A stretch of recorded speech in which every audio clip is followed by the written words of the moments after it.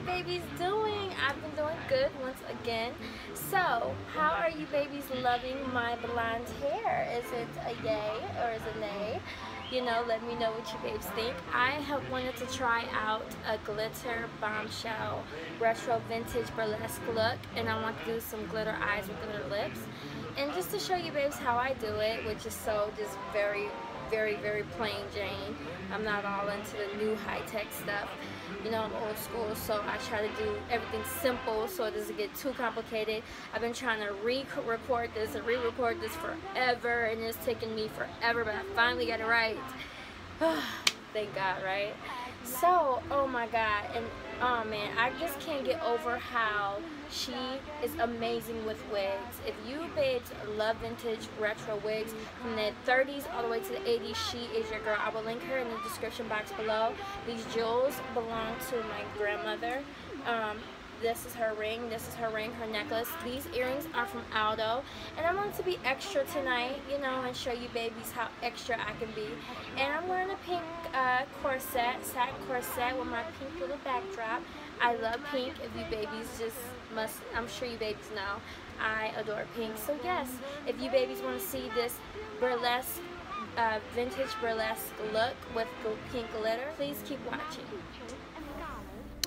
First things first, loves. I've already did my eyebrows. I've already put primer on my eyelids, and I've already did my foundation and powder and everything. So now I am putting some tape, and I'm putting it on the edge of my eyes uh, to do a cut crease. I feel like it makes it more, you know, more even, and it will make things look more better. Next, I'm taking LA Colors. You can get this at your local CVS, Walmart, Walgreens, or Dollar, Dollar Store. and then I am putting the light, the lightest color on my lids. I feel that is like um, the base for the cut crease I'm trying to do. Um, I use the little sponge brush that does come with it because I feel like it it packs on more of a nice color um, on my lids. I really don't like a regular brush. I feel like it leaves a lot of fallout when it's just a regular brush. So I do use the pack, um, the little sponge brush that does come with it. I'm sorry, I just think those work way better than the other brushes or my finger. Now I'm taking that and those two colors, the lightest and the second, and I'm going back and forth over my lid. After I did that, I am taking this uh, color in, the chocolate bar by Too Faced, and I'm putting that on my lids too. And um, yeah, I'm just putting it all over my lids, and I'm just covering each every uh, part of my eyelid where I want it to be covered. I do have some um, closed set eyes, and my eyes is also um, I have droopy, kind of droopy lids, so I have to keep going over it so I can make sure it's nice and even. And make sure, babes, you guys push on the tape because sometimes it can come off and it won't, you know, give you the cut crease. Next, I'm taking this other palette and I am using the lightest, glitteriest color and I am putting that on the very tippy top of the crease, the cut crease, to give it uh, more of a dimension so it can it can look more separate than the other color. Then I'm taking Too Faced and um, Natural Eye and I'm putting the color Lap Dance on my lid and that's going to be the very last um, top part I put on my lid. So it can like you know make it ombre effect where it's really frosty pink at the top. Now I'm taking my Verani palette and it is a glitter palette. And I am taking the lightest pinkest glitter right here and I'm going to put it on my lids so I took this little brush. Now this is the same little brush I used in my last tutorial for my lips. I just took the red glitter off, but I'm using this. I feel that that is the best. The little brushes are the best brushes to use for um, little glitter looks that you want to do for your lips, eyes, um, makeup wise. And then I'm going back over to my other eyelid and I'm doing the same exact steps that I did with that eyelid. and I'm just going back and forth. Um, like I said, I'm taking LA colors and I'm just putting the first lightest pinkish color and the second pinkish color and putting it on my lids. Then I'm taking the chocolate bar palette and I'm putting it on my lips, uh, lips, lids. By the way, the chocolate bar palette is um, by Too Faced. I'm sure you babes know about that. Then I'm taking this pretty glittery palette, which I forgot the name, but I will put in the description box on my lids. Then I am taking another Too Faced palette, and I am taking the Color Lap Dance, like I did with the other um, eyelid, and I'm doing the same step. Hopefully, babes, I am showing you guys a better way um, how to apply this stuff or if maybe if I'm you know if I can do a better technique maybe you babes can show me or tell me um, another thing is I'm using the Variety palette again and I'm just doing the same steps. Um, another thing too is I also like to have the fan going when I do my makeup. So you guys hear a little noise in the background, it is my fan because I like to uh, be cool when I'm under the studio lights and stuff. Um, I'm hoping I'm showing you babes a better way to apply um, how I apply my makeup um, on here. Sometimes I have my mirror cover. Now, last part, I am taking the tape off. And do you see how sharp and cut that, you know, that look is? And how do you guys love my little eyelash uh, palette um, container? I've got it from AliExpress. It's so cute and pink. And as you babes know, pink is my favorite color, pastel light pink, as in my background. Um, yeah, so I'm taking some duo glue and I'm just putting my lashes on. I also like to bend them and kind of, um, I cut the corners, bend them, and I like to make them try to fit my whole lash, uh, my, my natural lash line. But it is kind of hard. I feel like these can get a little irritating to put on and take off. But anyway, yeah, so I'm just doing that to the other one and I'm making sure I cover each and every corner of the lash and I put it on. I also like to put on mascara before I put on my lashes.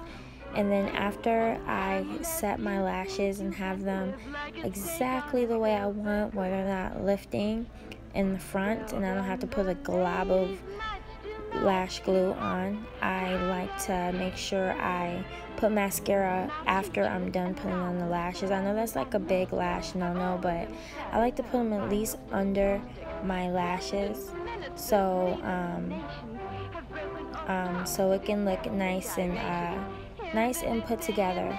And there is some glitter fallout. the only thing I don't like about glitter is just the fallout that you it, it gets everywhere if you're not careful. So yeah if you see this you know i'm just fixing the glitter off my face and um trying to make sure that you know it doesn't mess up the look that i'm trying to do.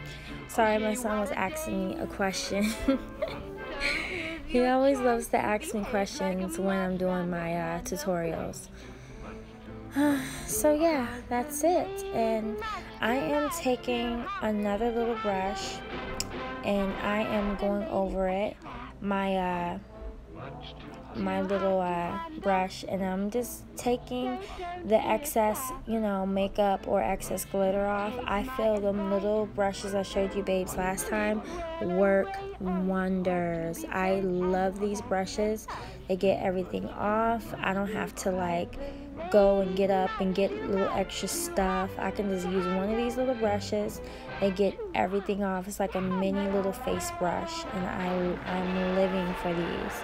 And when I tell you babes to get these, I just, I don't know what you babes are waiting for. You guys should really get these because they will really help with your makeup even more and they fix it up you know and i like to bring and they're easy to be discreet and hide them in your purse. Uh, that's why i love them and i like to you know have them in my purse or my makeup kit. So yeah next i'm using uh, lash by benefit and i'm just putting it under my lashes. I like um old mascara if that makes sense. I like how uh, how thick older mascara can kind of get. I don't know if that's like a good thing, but I like the way it makes my lashes look. It just makes them look more thicker and um, you know put together especially if your lash kind of wants to lift it like it's like a safety you know net for your lash to not lift so yeah that's what i like to use. I also like to use um, some maybelline um, mascara. I have to show you guys my mascara collection because i have a lot of mascara. So yeah that's it. Next, I am taking my Wet n Wild eyeliner in Noir, and I am eyelining the tip, the very top of my eyelid. I try to start in the middle and I just work my way across. Like I said, go thick or go home. I love thick eyeliner. But with this look, I don't want to do too much thick eyeliner because I don't want it to cover all the glitter and hard work I did on that.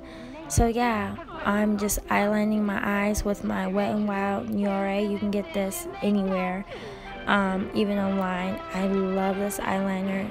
Let me know, babes, if you guys recommend any other eyeliners or other eyeliner looks I should do.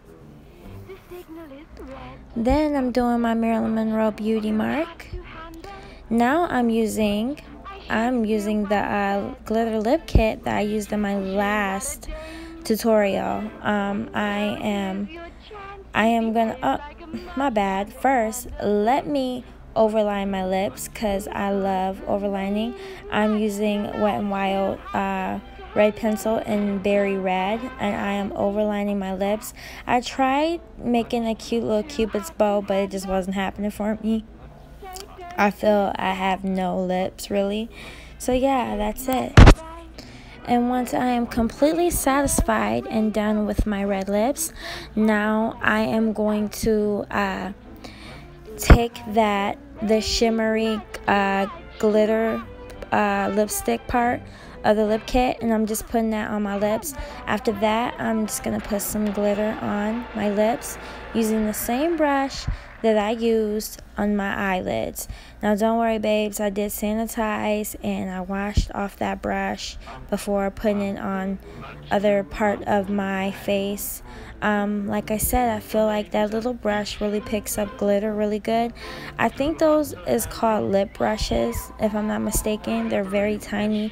They're good to apply lipstick. It's like professional makeup artists use that, like for lipstick or lip gloss or glitter or anything. So yeah, if you babes know where I can get those type of little brushes where I don't have to use the same brush, let a girl know.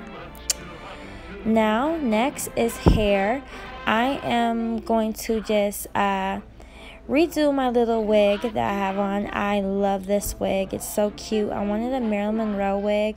I thought it would look so cute. I have to, um, I have, it has little combs underneath and I like to brush it out to give it that little bounce.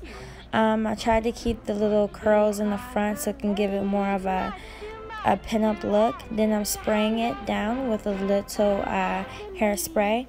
Now I'm taking my Aldo earrings, and you know, babes, I'm so extra. I had to get them. They remind me of uh, How to Marry a Millionaire with Marilyn Monroe in it, and you guys know I adore Marilyn Monroe so much. So yes, I have put those on. I thought those were so cute. And yeah, most of my jewelry are is vintage except a few pieces. So yes babes, that is my glitter look. I tried to make this video very very small for you babes. But I wanted to be extra because you guys know I'm so extra as hell when it comes to certain things. I am loving this blonde wig. It is by my homegirl. She is on Instagram.